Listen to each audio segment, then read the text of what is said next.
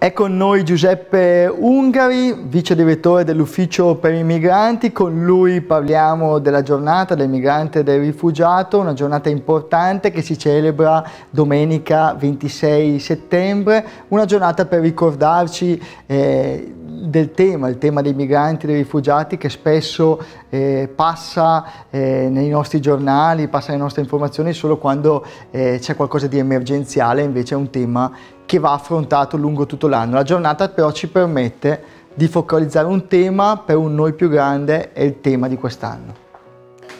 Domenica 26 settembre celebreremo appunto questa giornata con il titolo pensato da Papa Francesco verso un noi sempre più grande. È appunto l'invito, per utilizzare le parole del Papa stesso, a prendersi cura della famiglia umana e a restaurare eh, la famiglia umana. Eh, in queste parole del Papa vedo la consapevolezza del fatto che viviamo un momento non facile, che merita attenzione, merita eh, la preoccupazione di questa cura, ma al tempo stesso c'è anche la consapevolezza del fatto che ce ne si può prendere cura se ci mettiamo tutti insieme a farlo. E più che il tutti, il Papa sottolinea l'importanza dell'insieme, cioè di questa collaborazione, l'ha detto in vari modi, in varie forme, del trovarci sulla stessa barca e soprattutto del condividere anche con chi viene da culture altre, da storie, da provenienze diverse, la cura per questa nostra società che è sempre più multietnica, sempre più universale.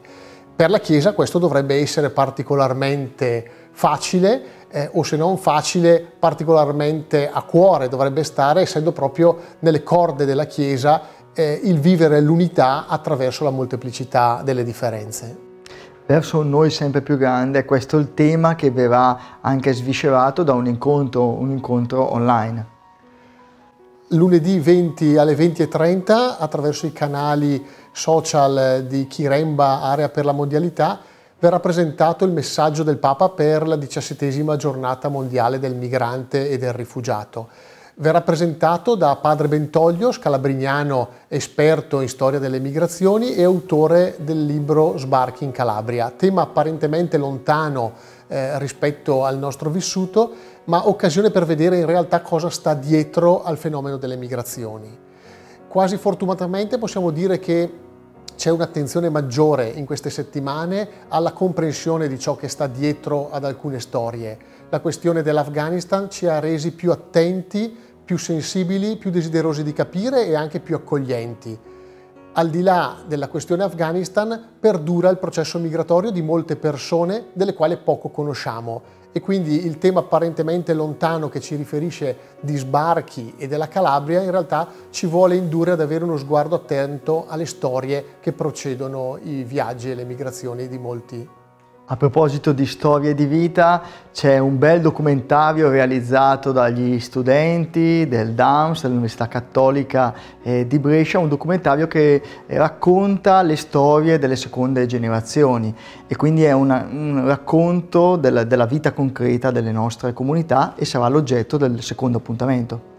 Sì, venerdì 24 settembre alle ore 17.30 presso il Teatro Sant'Afra con ingresso gratuito, è necessario solo presentarsi con eh, il Green Pass, sarà possibile assistere alla presentazione di questo documentario realizzato dagli studenti della Cattolica del DAMS. Eh, verrà presentato l'incontro grazie a Diego Motta che è responsabile delle pagine di attualità di Avvenire e eh, verrà raccontata la storia di questi ragazzi di seconda generazione che attraverso delle interviste mostreranno il senso del loro essere eh, cittadini di seconda o di nuova generazione a Brescia.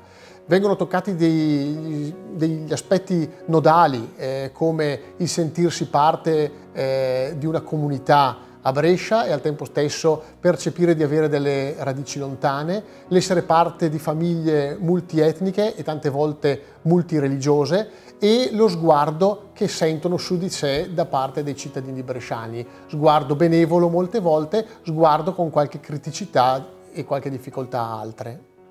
documentario che apre la serata, il film invece all'interno di Afro Bricks che la chiude questa serata.